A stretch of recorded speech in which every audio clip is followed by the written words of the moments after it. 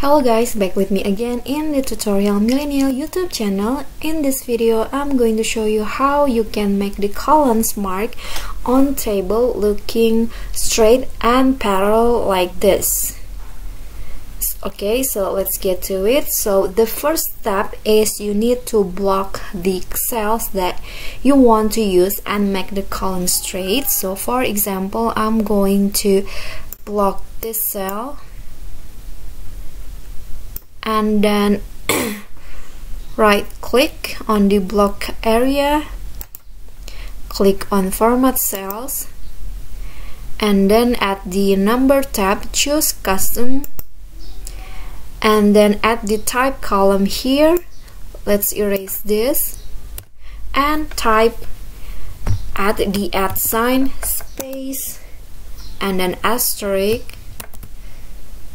And space again and then apostrophe the colon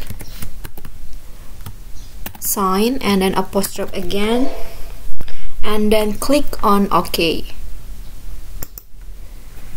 And then we're going to make the column bigger first like this. And then here you just need to type in the text. For example I want to type name and then click on enter as you can see the colon mark has uh, automatically added in the right side and we're going to type in the second row address date of birth phone number and then email. As you can see uh, the colons is straight and parallel like this